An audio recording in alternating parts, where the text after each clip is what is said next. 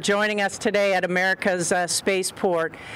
You know, we really have some pretty exciting days here at the Kennedy Space Center, but today is uh, uh, even more exciting than normal because we know when we see this aircraft here, we know we're getting really close to uh, launch day. Hey, hello. Um, thanks for uh, for being here for the opportunity to, to um, say a few remarks. I mean, this is uh, this is getting real. It's uh, it's five days to launch. Uh, we're going to space very soon, and uh, it's very emotional for me that this uh, final stretch to the launch pad has started with the landing uh, here on this runway. For those guys, it's kind of normal. They do it all the time. but for me, it was like, as we were coming in, I'm like, I'm landing on the Space Shuttle Landing Facility, which for a girl like me who grew up in the 80s, I was a child in the 80s watching, you know, Space Shuttle, the initial Space Shuttle flights, uh, those men and women uh, going to space on a regular basis. That's what got me excited about space. So that was uh, very special uh, for me. Um, I'd like to join my uh, fantastic crewmates in expressing my um, deep sentiment of uh, gratitude for all the NASA and SpaceX teams that have brought us uh, to this point.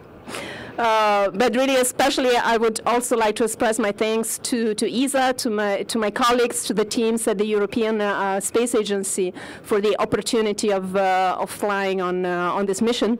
Um, and a big word of thank you also to my country, Italy. I'm an ESA astronaut of Italian nationality, and if I have this opportunity of flying to space in a few days, it's also thanks to the long-standing commitment of uh, Italy to ESA and to the partnership with NASA. As it was mentioned today, not only through the um, you know missions to the ISS, but in the not so distant future, also with uh, missions beyond low Earth orbit, we, we got this opportunity of watching uh, SLS on the launch pad with uh, Orion and the European service module standing on top of it. Really, really exciting to get to ISS and uh, get down to work with this fantastic crew and the uh, three cosmonauts who will be part of our expedition, uh, who are um, dear colleagues and friends who are waiting for us up there already. Thank you so much.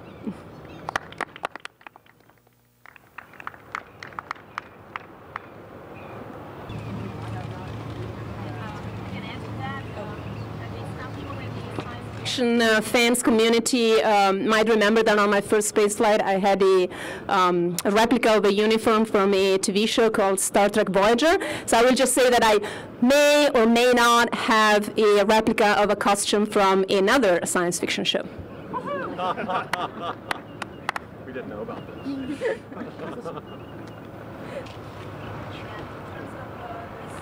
that depend on gravity, I would count a shower among those. So just like I did last time, I plan to take a very long, luxurious shower on that last day before launch.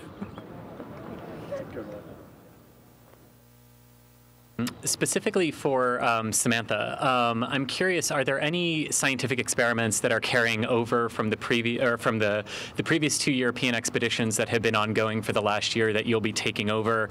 And and then for you and for Jessica, what are the experiments you're looking forward to performing the most while you're up there? Thank you.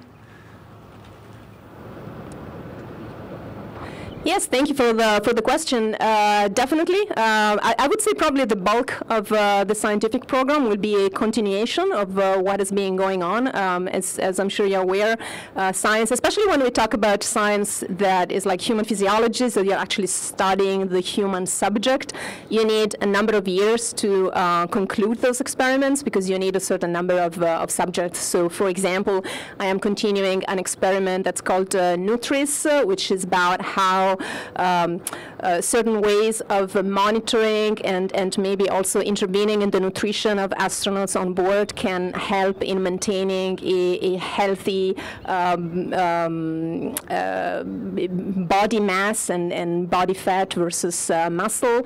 I'm also continuing an experiment which is called acoustic diagnostics, which is uh, more about the influence on the um, uh, hearing function, but um, that is uh, also acquiring more and more a component that looks at the intracranial pressure, which is uh, something that we have been uh, looking at with a number of experiments over the years. Um, so yeah, and, and, and of course uh, many, many more. I don't, I don't, think we have time to go into uh, much more detail, so I will leave uh, the floor to Wadi.